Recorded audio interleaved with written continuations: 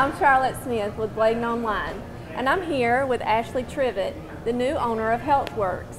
She and her husband Tracy purchased HealthWorks Fitness and Wellness back on August 1st, and today we're going to talk with them or her about her new goals and the way that they have changed the gym and plan on making it a better asset for Bladen County. Good morning. Hi, good morning.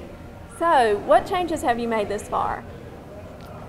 So some of the changes that we have made, Charlotte, to the fitness center is that we have opened up the hot tub. Okay. It was opened in the past and was closed, and mm-hmm. some of the members have come to me in the past, and it was something that I wanted to do anyway.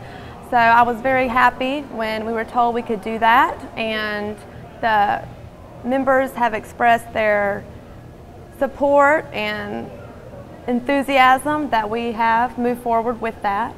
We also have a steam room that has always been working, but I think now that the hot tub is open, there's kind of more iterated to it and that they can go to the hot tub or a steam room. So we offer a kind of like a little spa package there almost. Um, for the pool area, we do offer a $30 a month pool exclusive pool members membership. So a lot of people have wanted that in the past, and so I'm really glad that we're able to offer that now too.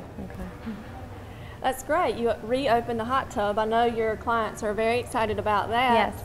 I also heard that you have new classes to offer your mm-hmm. clients. So, what are some of those classes and the times? We have hip hop abs, kickboxing, total aerobics, and bend that have all started in the past month. They're on Tuesdays and Thursdays for the total aerobics and the bend. Total aerobics starts at 6.30 on Tuesdays and Thursdays and following that is our bend class, which is a mix between yoga and Pilates. Ooh, nice. Yes, I absolutely love that class. They're all great.